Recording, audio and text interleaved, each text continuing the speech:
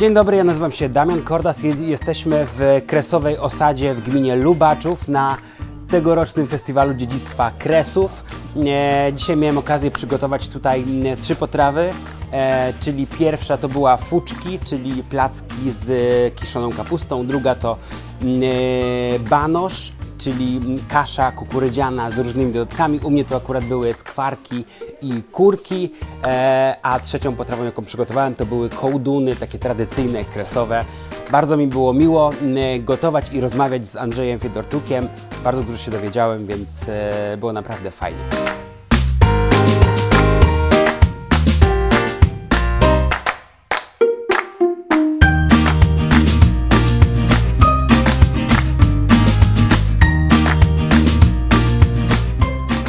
Miło jest mi tu po raz pierwszy przebywać y, w Kresowej Osadzie.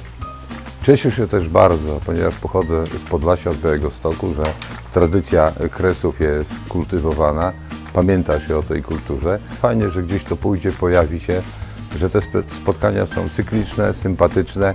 Myślę, że y, poprzez media elektroniczne, poprzez platformy Yy, Ludzie poznają nowe yy, oblicze kresów, a właściwie te stare, może na nowo troszeczkę odkopane, poznają i będą kultywować nowe smaki. I oby za rok, żebyśmy się spotkali yy, w szerszym towarzystwie, ale w sympatycznym gronie.